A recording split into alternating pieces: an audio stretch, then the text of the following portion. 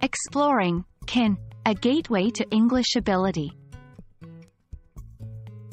Hello, language explorers. Today, we are going to focus on a powerful little word in the English language, can. This modal verb is simple yet versatile, and it's used to express a lot of different meanings. But our main focus today is on its most common usage, to denote ability. Can is one of the English modal verbs. It's used to express a variety of things, but primarily, it's used to talk about ability or possibility. When we say we can do something, it means we have the skill, the knowledge, or the physical capacity to do it. For example, I can swim, she can play the piano, they can speak Spanish. In all these examples, can is used to talk about an ability that someone possesses.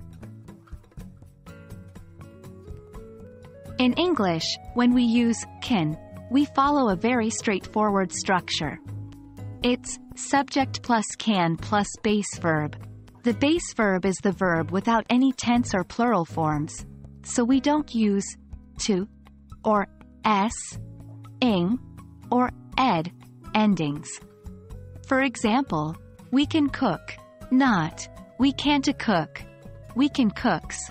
We can cooking. We can cooked. You can read this book.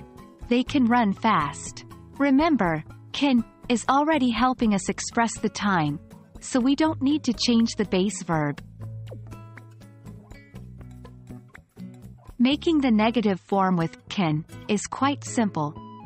We just add not after can, which becomes can't or cannot.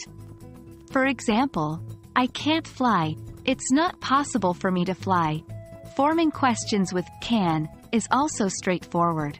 We invert the subject and can. For example, can you play guitar? Can they come to the party? So there you have it. Can is a handy modal verb that helps us express ability, possibility, and more in English. It follows a simple structure, making it easy to use in both affirmative and negative sentences, as well as in questions. Keep practicing with different verbs and subjects, and you'll master the usage of can in no time. Until next time, keep exploring and happy language learning.